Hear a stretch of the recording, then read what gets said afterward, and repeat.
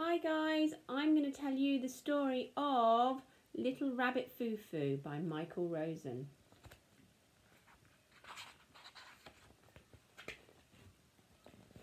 Little Rabbit Foo Foo riding through the forest, scooping up the field mice and bopping them on the head. Down came the good fairy and said to Little Rabbit Foo Foo, I don't like your attitude, scooping up the field mice and bopping them on the head.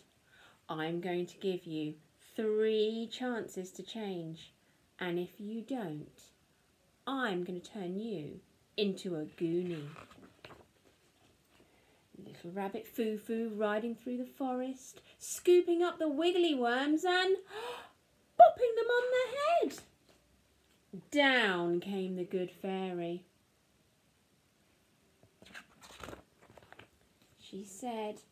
Little Rabbit Foo Foo, I don't like your attitude, scooping up the wiggly worms and bopping them on the head. You've got two chances to change, and if you don't, I'm going to turn you into a goonie. Little Rabbit Foo Foo riding through the forest, scooping up the tigers and bopping them on the head.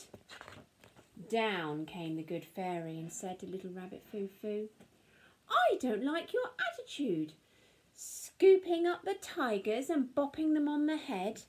You've got one chance left to change, and if you don't, I'm going to turn you into a goonie. Little Rabbit Foo Foo riding through the forest, scooping up the goblins and bumping them on the head. Down came the good fairy and said to little Rabbit Foo Foo, I don't like your attitude, scooping up the goblins and bopping them on the head. You've got no chances, so I'm going to turn you into a goonie. And there he is. Hope you like the story.